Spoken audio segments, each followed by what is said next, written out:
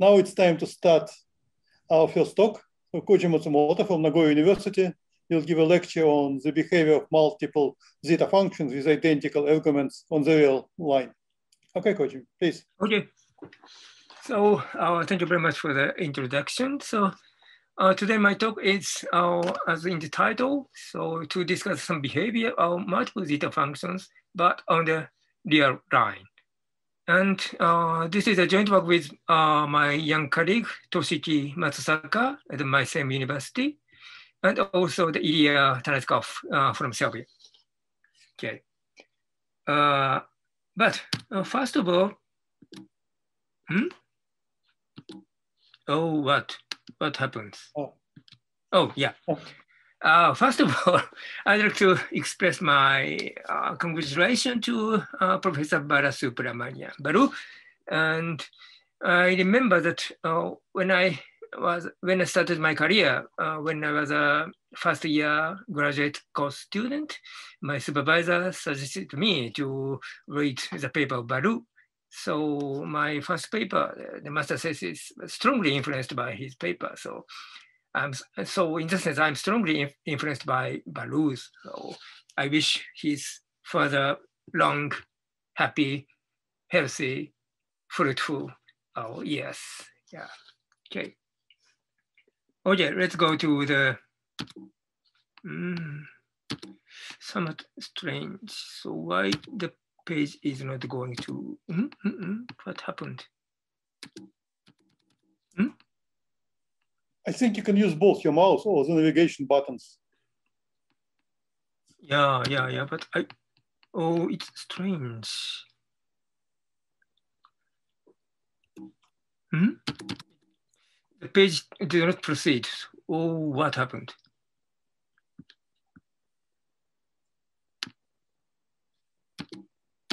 Oh, I'm sorry. So there's some using, trouble? Roger, are you using a laptop or a desktop? Do you have a mouse? Yeah, uh, no, no, no, no. I have some, uh, there's no mouse.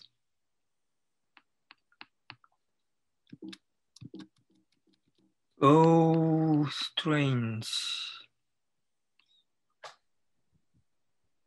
Kohji, uh, can yeah? you use your uh, cursor? Yeah. Uh, let's try that. Cursor mm. is not working? No you may try going uh, logging out and then coming back. Yeah, that's a possibility.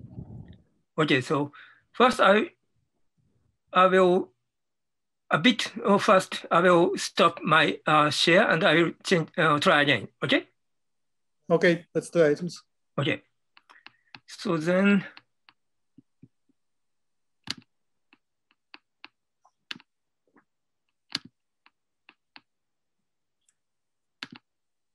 Okay. Okay. Oh no.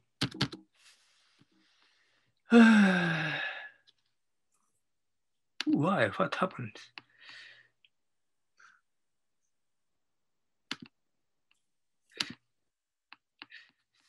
So I'll once more try. Mm. Hello, uh, maybe you can try to um, yeah. share the desktop not the application. Did you share the application or the desktop? Desktop, yeah, desktop here. The, uh, my, my file is already in the desktop. And I now chose, uh, I now choose the, that one and try to share that. So then it's shared. Can you see my, uh, my slide? Um, and so this is sharing the application directly the application or the desktop? Yeah, uh, uh, desktop. Ah, desktop, okay. Yeah. But, oh, oh, strange. It moved. What happened? I've never encountered such situations. Uh, maybe maybe you can put it all off and start again. Just disconnect and start again. I do that sometimes. Disconnect. Okay. Okay. Okay. Okay. I do that sometimes.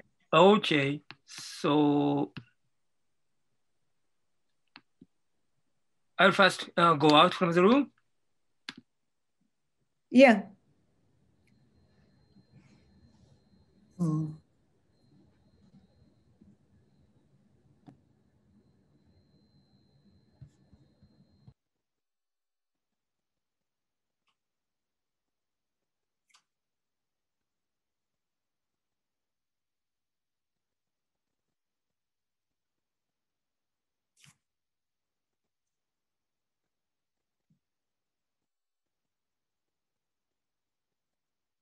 Okay, I'm coming again. Yeah. And so I will try once more. Maybe as Alina said, you can try to share your desktop. Desktop, yes. It's Okay. already on the desktop. Okay.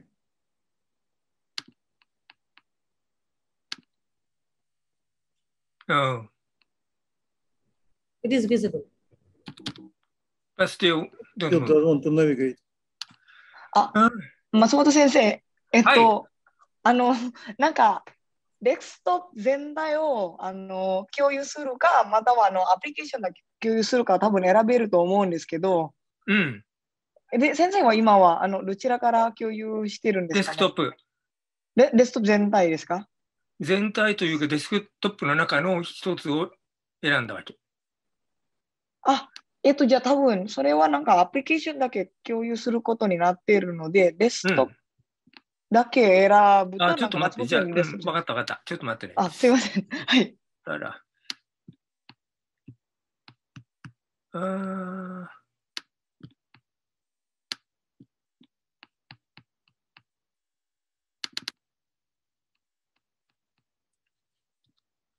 How about? あは。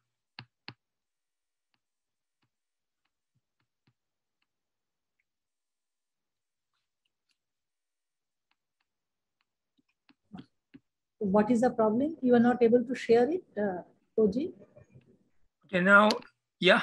So I want to try, try again. Uh, Okay, please go ahead. No, the pages are not moving for him. He can share, but from second page, he is not able to go to third page. Uh, can you click on the third page maybe by your, uh, yeah. Yeah? mouse? Yes. How Do- then, That then do like this. Yeah. Yeah, now we Okay. can go slide by slide. Yeah. Okay, you can see Yes. Yes. the second page. Okay, Yes. good. Okay, so now, so now I will go to the third page. Okay, so let's start with the mathematics. Okay, so now, so my talk is about the multiple zeta function, but uh, I start with uh, recording the very no uh, very basic fact about the Riemann zeta function. Of course, in on this page, everyone knows the matter, but I will start from this uh, point. That is a Riemann zeta function. Is of course uh, convergent absolutely in the half plane. The real part is s is greater than one, and uh, continued meromorphically to the whole space. And the only pole is s equal one. And the zeros, uh, as you know, so there is no zero in the uh, convergent half plane. And in the plane, uh, negative half plane, there are trivial zeros, so-called trivial zeros at the negative even integer points, minus two, minus four, minus six. And all other zeros, as you know, uh, uh, in the strip in between zero and one. And of course, by the famous Riemann hypothesis conjecture that uh, it is, they are all on the real line, uh, the line, vertical line, the real part is one half, okay? So, however, in the case of the Hurwitz function, so it's defined by the shift of the each term of uh, the Riemann zeta function by the some real parameter alpha. In this case, uh, usually the distribution of zeros is totally different from the case of the Riemann zeta function. So of course, when alpha equal one or one half, it is essentially, essentially the Riemann zeta function. But except for these two cases, the situation is very different. In particular, complex zeros are very so so very distributed and the in particular the Riemann hypothesis analog of the Riemann hypothesis does not hold. But today uh, my talk is not on the complex zeros, but I'm watching uh, and today I'm reporting on the real zeros. So therefore, first I will uh, mention some history on the study of the real zeros of the Hurwitz zeta function, which has been studied extensively by recent years. So the first, uh, Takashi Nakamura, five years ago, proved that Hurwitz zeta function has at least one real zero in the interval one between zero and one, if and only if alpha, the parameter alpha is less than one half. Okay. And then the next year, the Nakamura obtained the analog of his result in the interval between minus one and zero. And next, uh, Toshiki Matsusaka, who is actually the one of the joint authors of this talk, uh, extended Nakamura's criterion to all intervals minus n minus one and minus n. So all uh, negative negative intervals of length one. And he gave a criterion of the existence of the zeros in this interval in terms of Bernoulli numbers. For example, in particular, he showed that uh, there is precisely one zero in the interval uh, in, in, between minus 2m, minus 2m minus 2 and minus, minus 2m. Okay. And then in 2019, Kenta Endo and Yuta Suzuki uh, refined Nakamura's result to show the following. So the, uh, in Nakamura's work, he proved the existence of the zero, real zero, but he didn't mention the number of zeros. But Ken Endo and Suzuki proved that actually the Hurwitz zeta function has precisely one simple zero in the interval between zero and one, if and only if alpha is less than one half. And moreover, if we denote this simple zero as beta alpha, then beta is so as a mapping, it's strictly decreasing C infinity diffeomorphism. And also it satisfies that asymptotic formula, beta alpha is equal to one minus alpha plus etc. Okay, so now by this work, we now know rather uh, detailed information on the real zeros of Hurwitz zeta functions. So therefore now we are going to the uh, our target multiple zeta functions, which is the Euler-Zagier R-fold zeta function, which is defined by this multiple series. And this is, for example, this is convergent absolutely in this uh, indicated region. It can be continued meromorphically to the whole space, our dimensional complex space. And also, its singularities are already completely determined. It's written there. SR equal one, SR minus one plus SR equal two, one, zero, minus two, minus four, minus six, etc., and so on. So the singularities are, uh, at least its locations are now known. So how about the zeros? Of course, the investigation of zeros is more difficult and the simplest case is, of course, the double zeta situation. Zeta2 S1 S2 is defined by this double series. And this was, I think, first studied by a paper of myself and Mayumi Shoji, uh, which consists of two parts, part one and part two. And this, uh, the title of this paper is Numerical Computation, but uh, actually uh, this paper includes both numerical investigations and theoretical uh, discussions. And in part one of this paper considers the case S1 is equal to S2, that is the one variable situation. So in this case, zeros are just isolated points. But in part two of this paper, uh, we consider the general two variable situation. S1 and S2 are moving independently. So therefore, this is the two variable functions. So the zero sets, uh, some analytic sets, hypersurface, etc. And so it's more complicated. And the basic tool of this paper is a very simple but important fact that is so-called harmonic product. That is so the product of two Riemann zeta is, you can see by just by definition, is written by the this double sum, M1 and M2.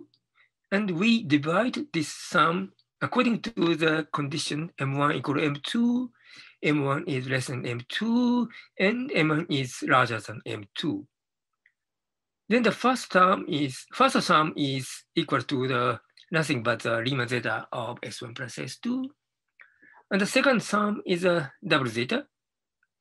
And third sum is also double zeta with the uh, order of variable change. So this is uh, valid for any S1 and S2, but in particular, if S1 equals S2, which we denote by S, then the last two terms, zeta2 S1 S2 and zeta2 S2 S1, both are equal to zeta2 SS. So therefore, we now obtain the formula that is zeta2 SS is written by the in terms of the Riemann zeta function. So therefore, by numerical computations and of theoretical discussion, this is quite uh, nice formula because zeta2 SS is reduced to the uh, properties of the uh, Riemann zeta function. And by using this formula, we can observe. First, zeta 2 SS has two poles at s equal 1 and s equal 1 half, because there is a factor zeta, zeta s and zeta 2s. The pole z, s equal 1 half is coming from the factor zeta 2s. And also, it is easy to see that the points, and negative even integer points, are also zeros of this double zeta. And one more, each interval in between the two even negative even integer points, each interval includes at least one more real zero. This can be proved by a simple uh, just calculus because by considering the, uh, the derivative of zeta 2 ss, which is that one. And from this formula, we can find that at, at a point s equal minus 2l, the derivative of zeta 2, zeta 2 is just minus zeta prime or minus 4l. But this is actually negative, which can be easily observed because of the simplicity of the trivial zeros of the Riemann zeta function. And so so the derivative is negative. So therefore, zeta 2 SS is decreasing at this even integer point, which gives the conclusion. So these are uh, quite simple observation from the uh, fundamental formula, which is the first line of this page. And of, of course, by using this formula, we can also compute the complex zeros the distribution of complex zeros of zeta to SS, which is mentioned in the uh, aforementioned paper. But uh, my talk, my aim is to consider the real zeros. So I don't want to discuss the complex zeros uh, anymore in this talk. Oh yeah. So today, my aim is uh, not only the double zeta function, we will study the behavior of uh, R variable, uh, uh, sorry, R fold multiple zeta function, but all variables are the same, SSSS. And especially we consider the distribution with real zeros on the real line. So this is a, a result in the paper of uh, myself and Matsusaka and Tanackov, and which is already posted in the arXiv. And of course, uh, this is, uh, I think this is just the first step of the investigation of the zeros of the multiple zeta function. So of course, how about the complex zeros? And of course, more important is how is the situation in general multiple case? Everything is uh, remain. So these are problems in the future. But anyway, today uh, we consider the uh, reduced situations. All variables the same and on the real line. So in this investigation, the basic formula is written there, R times zeta R S S S S is equal to the summation of j equal 1 to R, or minus 1 to the j minus 1, zeta r minus j SSS and the Riemann zeta of JS. This is uh, in previously I already mentioned the harmonic product formula and this this formula is also proved in similarly something like the harmonic product formula or it can be also deduced from the classical identity of Newton. But anyway, this is our basic formula today. So uh, hereafter, I quoted this formula as a fundamental formula. Okay. And so we will consider the uh, behavior on the real line, but first consider the simplest situation that is the case S is greater than one.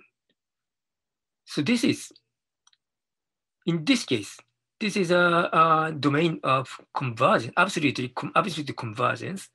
So the definition series is valid in this region. So everything is quite simple because from this expression, it is easy to see that our zeta r SSS is monotonically decreasing. And when s tends to plus infinity, this value tends to one or zero tends to one just in the case of the Riemann zeta function. And when the R is not less than two, it tends to zero. This can be easily observed from the just by the definition series. And probably uh, we can study, uh, we can consider more closely, we can even show that the asymptotic behavior when s tends to plus infinity is actually asymptotically equal to r factorial to the minus s. And also, uh, moreover, for any fixed s, then the value of zeta r SSS tends to zero when r, r tends to infinity. So these uh, results uh, can be, or all can be uh, proved without not so, um, mm, not so difficult from the very definition series. So anyway, this is a rather simple situation. So, okay, now we are going into the more difficult situation. So first consider poles. We already mentioned that the double zeta function zeta to ss has two poles, s equal one and one half. And as a generalization, we can prove the following theorem one, that is, the zeta r SSS has poles only at s equal one over k. k is between one to r, that is s equal one, one half, one third, one fourth, and blah, blah, blah, and finally one over r. And order of the, those poles are the uh, integer part of r over k. So therefore, we can find the asymptotic formula that S is uh, asymptotically equal to some constant times ks minus 1 to the minus integer part of r over k. The proof is, this proof is still not so difficult. So when r equal 1, this is the limited case, so it's clear. So therefore, we prove the theorem by induction and recall the fundamental formula, this one. So maybe uh, the divide, uh, divide uh, both sides by r. And we separate the part j equal r in the last part. Uh, because when j equal r, zeta r minus j is zeta zero. Zeta zero SSS is we, we regard as it's just one uh, constant one function. So therefore we obtain this expression and then by the induction assumption, the pole of zeta r minus j SSS is just s equal one, one half, one third, blah, blah, blah, and one over r minus j. And also the Riemann zeta factor zeta js, of course, this has a uh, poles at s equal 1 over j. So these are the all candidates of the poles.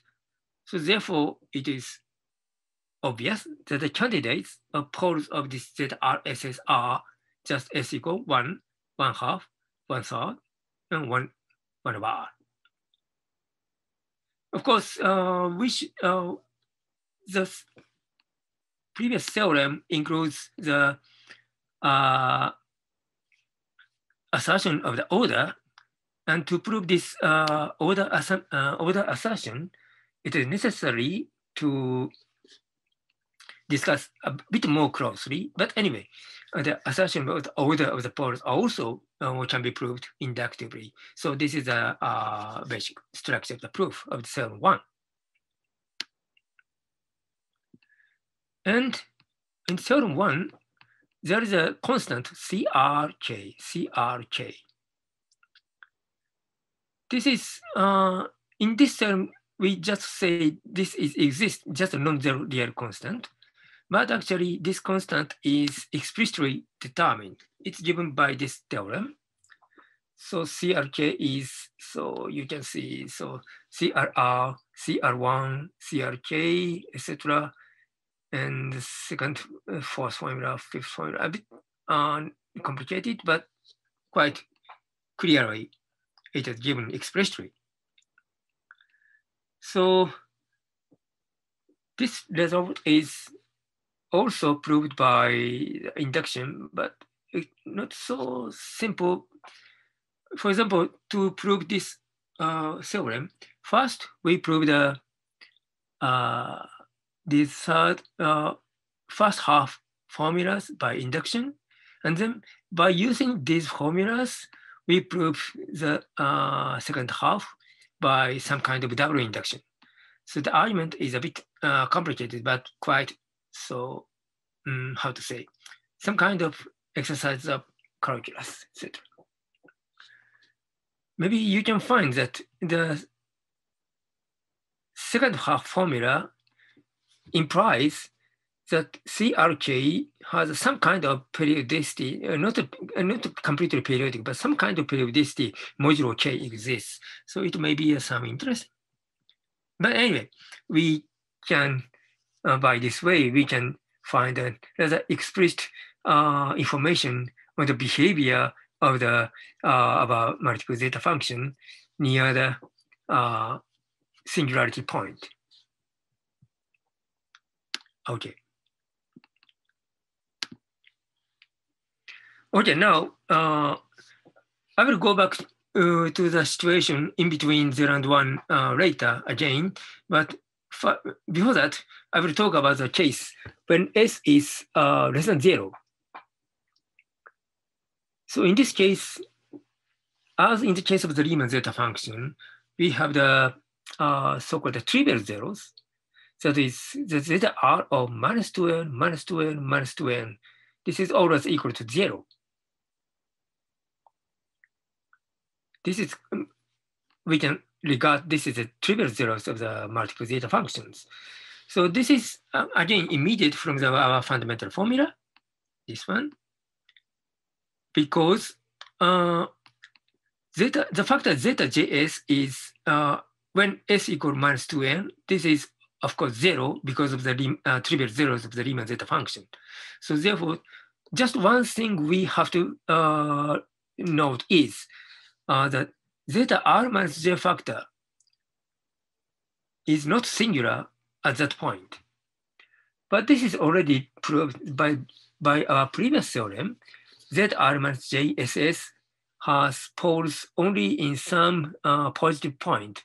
So the S equal minus 2n is not singular.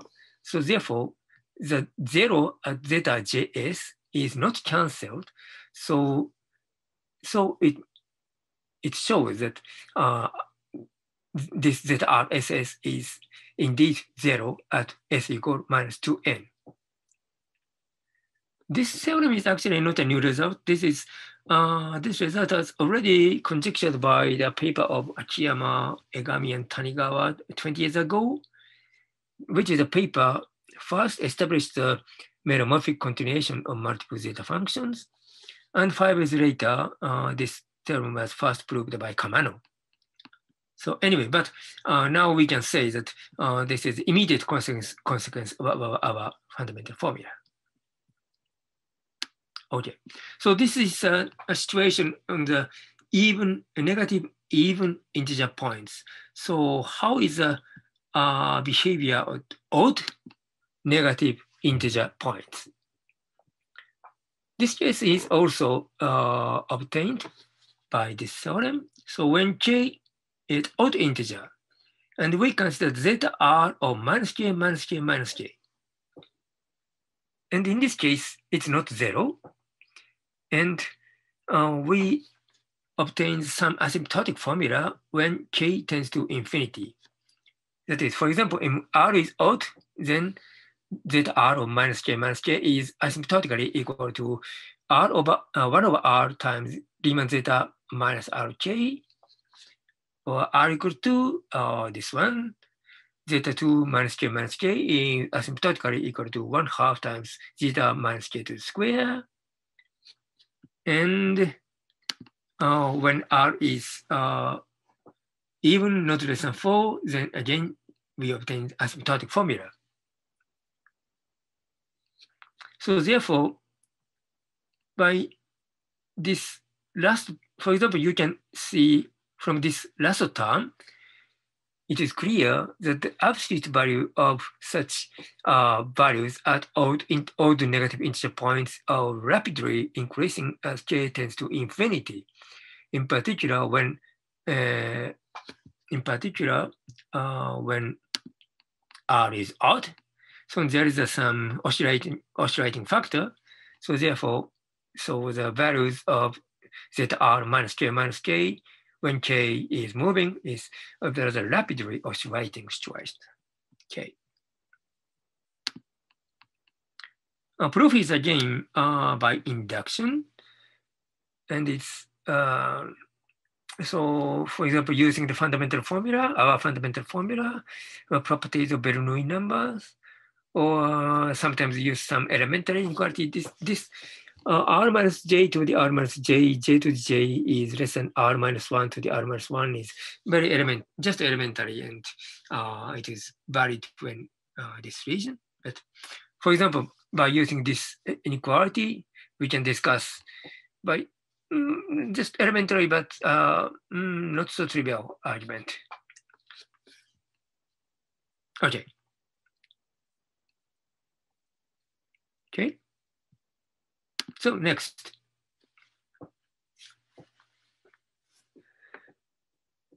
So uh, by theorem three, we know that uh, the, there is trivial zeros of zeta r s s s. So that is s equal minus two n r zeros. But numerical computations show that there are actually more zeros on the negative year line.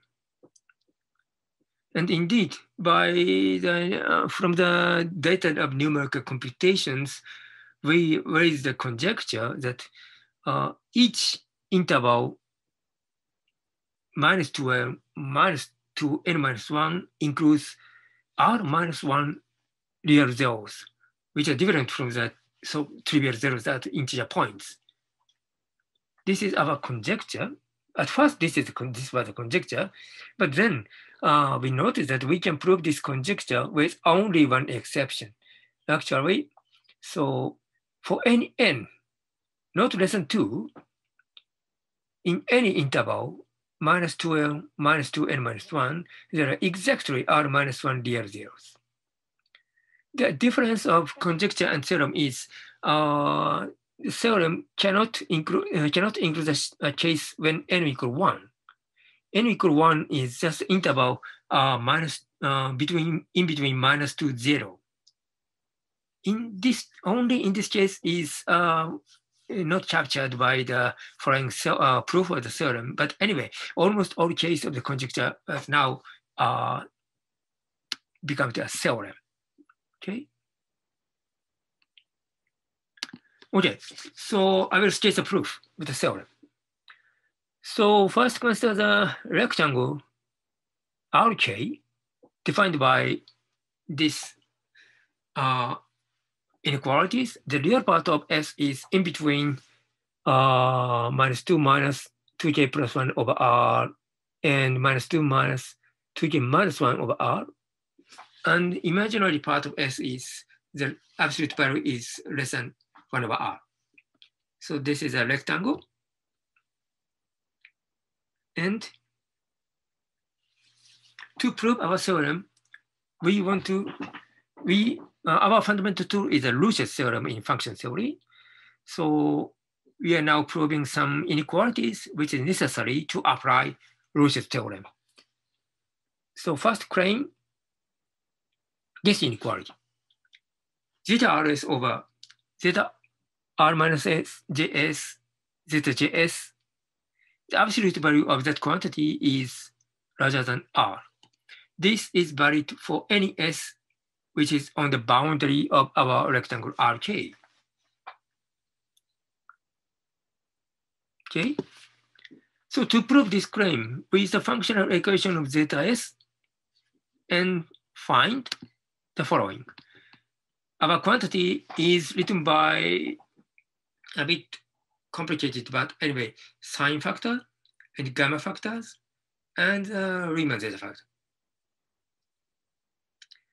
And we evaluate this uh, right-hand side, each part of the right-hand side by uh, by some rather elementary argument. Uh, sine factor and gamma factor is by using some um, some basic uh, calculus. We can evaluate the sine factor, gamma factor, and the Riemann zeta factor exists, but this is by the functional equation, that this Riemann zeta factor is going into the uh, domain of absolute convergence, so it is a bit more easily treated. But uh, this argument is elementary, but uh, by no means easy. Uh, using some uh, tools such as the addition formula for the sine hyperbolic function or some infinite product expression with gamma function, etc. So elementary, but uh, mm, have to say not not so trivial. Anyway, by using those tools, it is possible to prove this this claim. And then by using this claim, we can prove the following claim too, that is on that boundary, the absolute value of that RSS is less than the absolute value of the Riemann zeta of RS. So this is again proved by induction. So when R equal to so zeta 2 SS is less than binary one half times zeta 2 square plus zeta 2s. This is by using the, again, by using the fundamental formula. Then the part zeta square is less than by one half times zeta 2s. This is by our claim one. Maybe you can remember the claim one. Claim one is here, this one. So when r equal to, this is, and j equal one, this is uh, zeta 2s over zeta s, zeta s square is uh, larger than 2, which exactly implies this part. So then uh, we find this is less than the absolute value of zeta 2s. So we are done. Similarly, when r equals uh, not less than 3, ZRSS is first estimated by our fundamental formula. And then um, in the summation j equal 1 to r, we separate the part j equal r. And in the part j equal from 1 to r minus 1, we apply the induction assumption to replace that zeta r minus j ss is uh, estimated by zeta of r minus js. And then again, we use the claim one and to obtain our desired inequalities. So this is the proof of the claim two.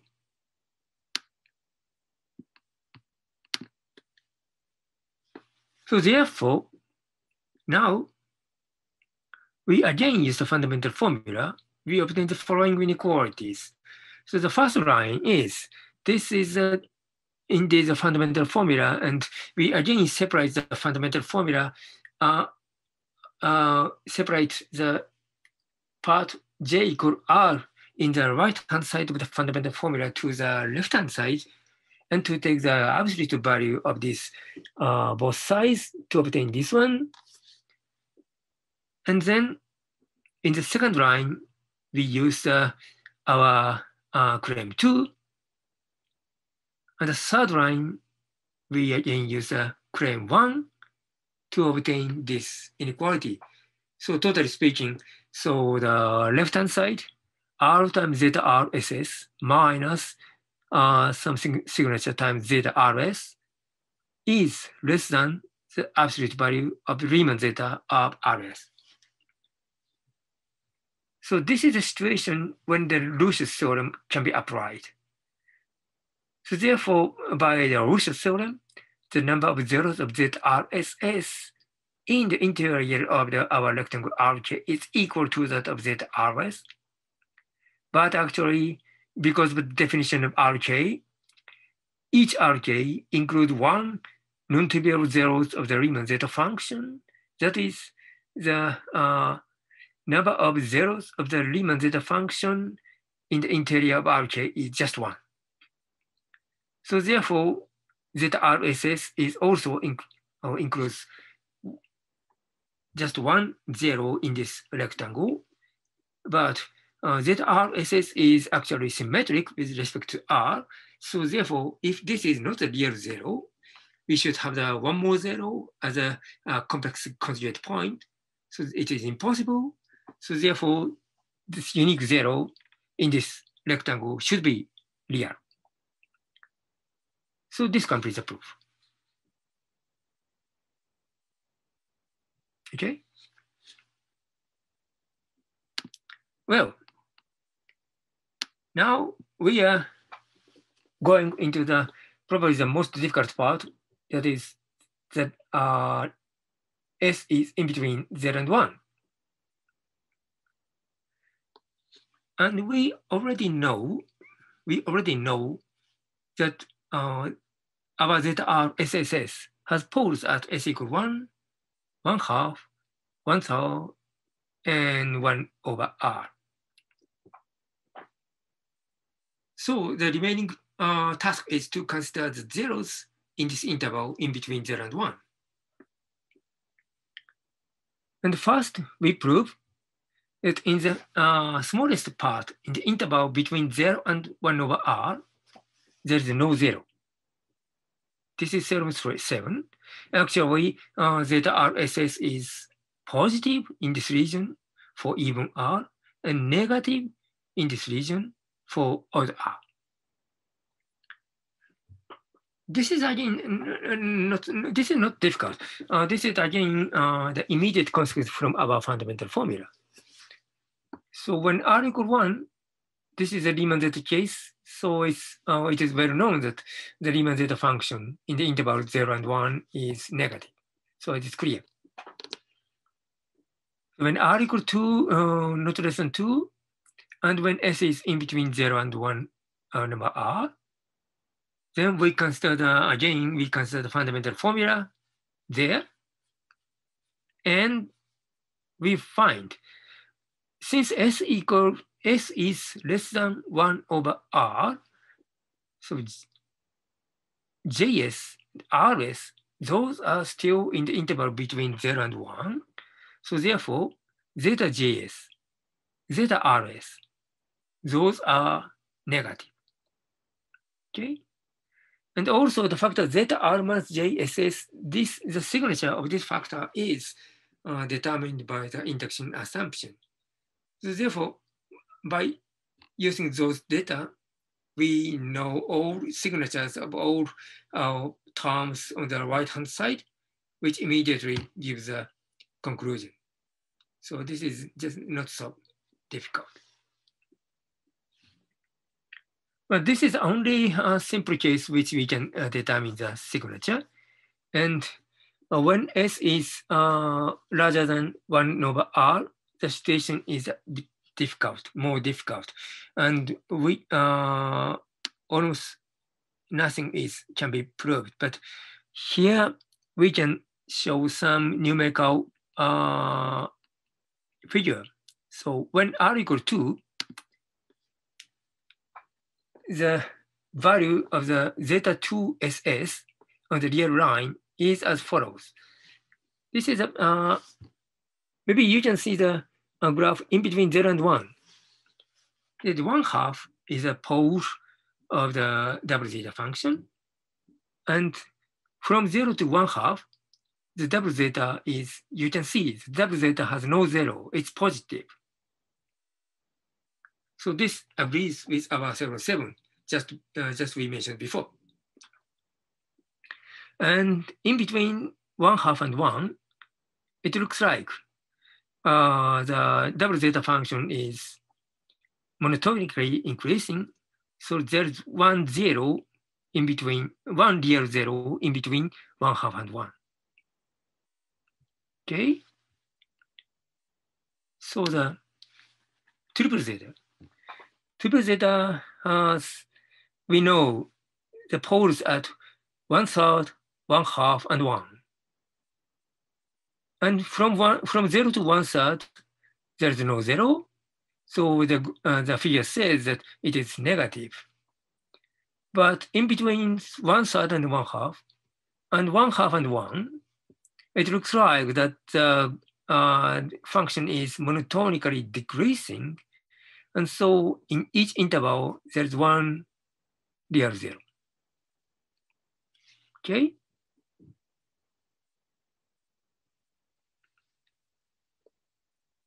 So the we are going back to the double case. In the double case, the number of zero zero is in each short intervals the number of real zero is zero and one.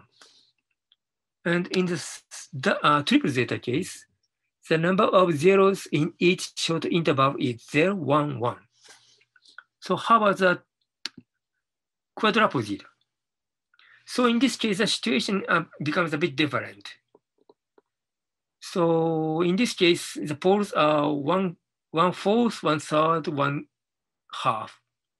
And from zero to one fourth, there's no zero, it is positive. And in between one third and uh, one fourth and one third, and one third and one half, the uh, graphs are monotonically increasing and there is one zero. But uh, in between uh, one half and one, the figure shows that it go down and uh, to the minimal point and go up to the uh, to the infinity. So there's two zeros. So the number of zeros of this quadruple zeta in each short interval is 0, 1, 1, 2. Okay. So the fivefold. So in this case, so the in almost all cases, uh, the graphs are monotonically decreasing, but in between one half and one, there is, it seems that there is two zeros. Okay. And finally, I will show the six-fold zeta function. This is more complicated. So uh, in this case, the poles are one sixth, one fifth, one fourth, one third, uh, one half and one. And so in between one half and one, there are three zeros.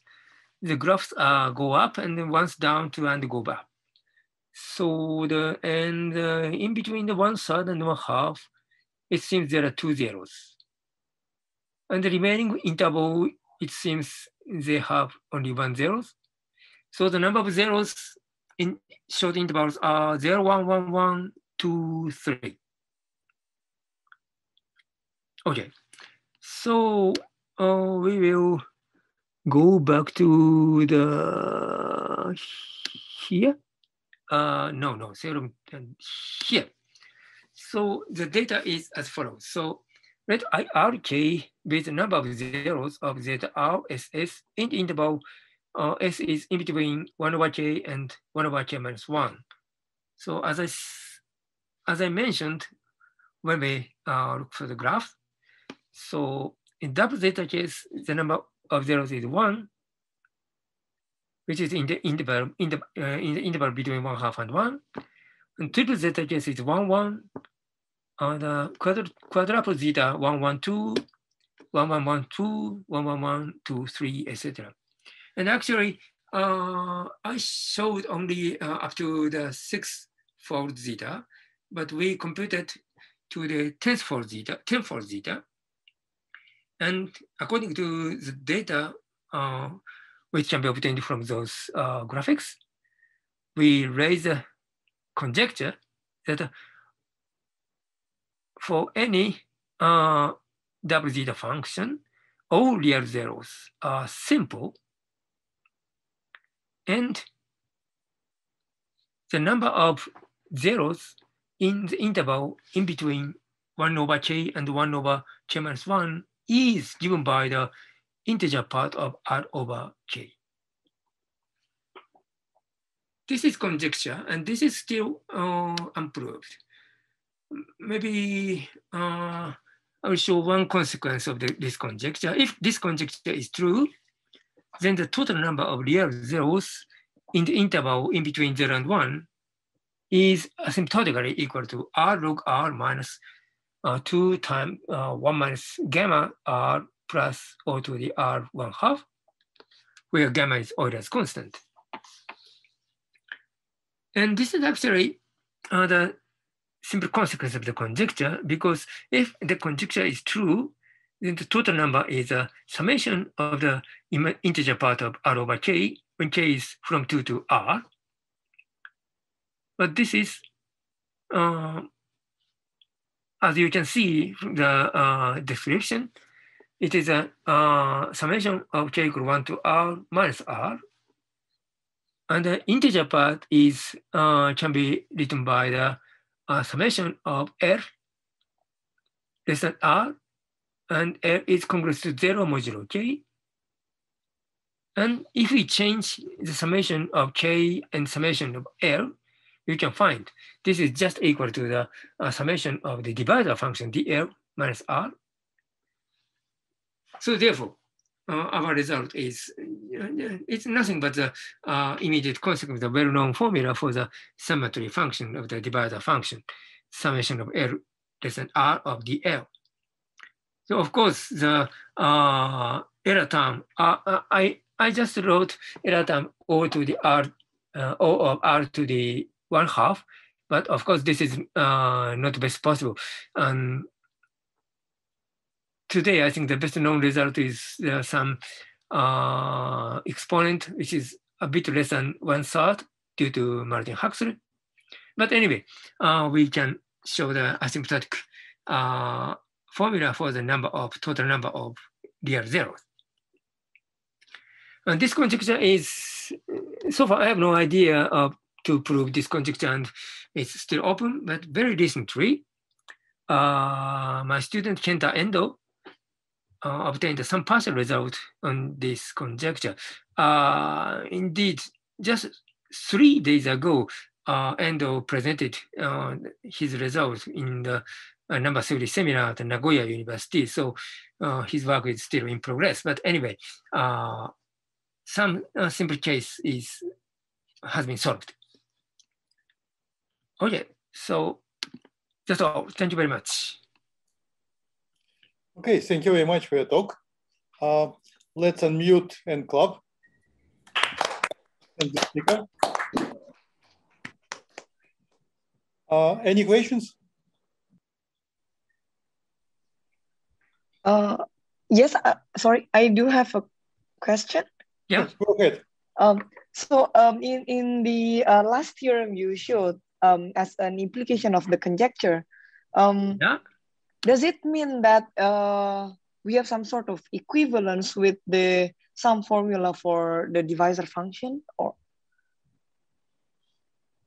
so Um, is the conjecture in some in some sense equivalent to to um, there's a some formula of the divisor function.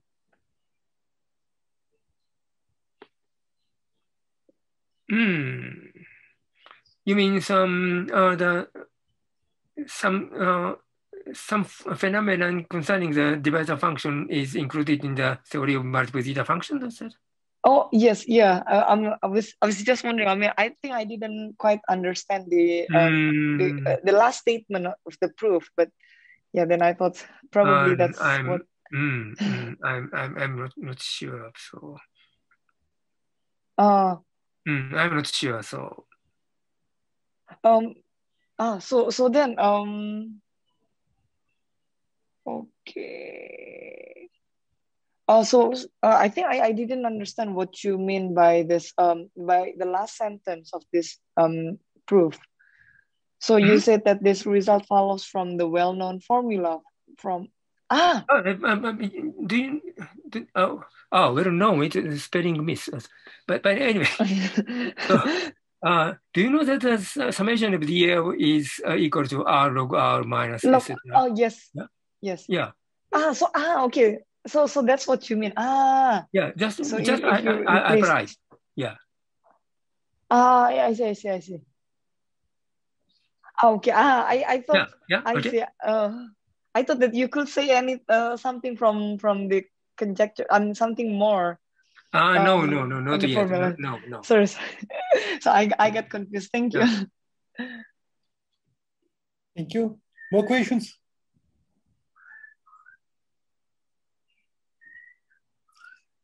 Kohji, may I ask a generic question? Has yeah? anyone tried to mix us with uh, multiplicative characters and consider L functions of this type? And of oh, yeah, yeah, yeah, yeah. Yeah, I think it's possible. Does it make sense? Yeah. Probably some uh, analogous statement can be uh, can be proved. Yeah, it's an interesting uh, direction, I think. Okay. At, at, least probably at least for the real characters. Oh yeah, yeah. Yeah. For, for okay. Yeah. Okay, thank you. Uh, yeah, sorry, I have one question. Okay. May I um, ask a question? Yeah. Yes. Uh, oh. in, uh, hello, Professor Matsumoto. Yeah. Uh, in the case of the double zeta function uh, with uh, two different variables, zeta of S1, S2, not S1 equal S2. Mm -hmm. So mm -hmm. The real locus of the zero is an analytic curve in R2. yeah. Do you have any do you have any graph or any shape for these curves? Uh, in that case, uh, here uh, you can see uh, the, this uh, second part, which is published in European Journal.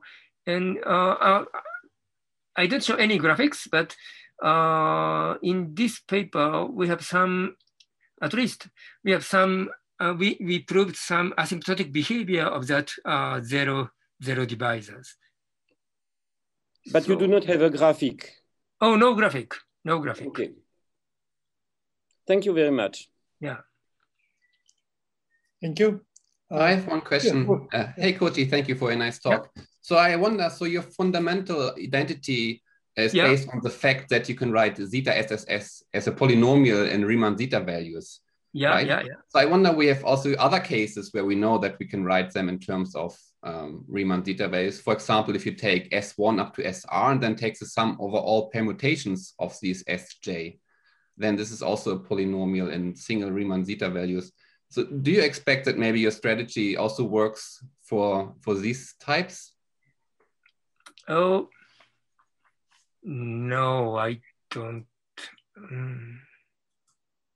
I'm not sure, but uh, I think uh, I'm not op optimistic.